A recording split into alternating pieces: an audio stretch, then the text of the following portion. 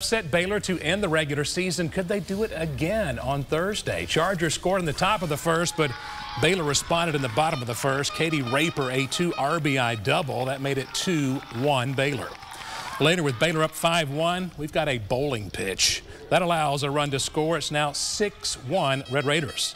Chargers kept fighting. Autumn Hughes tags this one pretty good.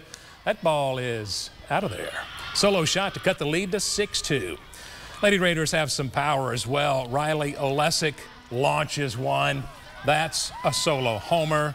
Baylor makes it eight in a row. They beat the Chargers nine to five. Every year's different. Um, it's a different group. It's a different team. Sometimes it's some of these ladies' first championship, and uh, you know there's there's adversity. There's good times and bad times throughout the season. So to see them come together at the right time and win a title for this season is great.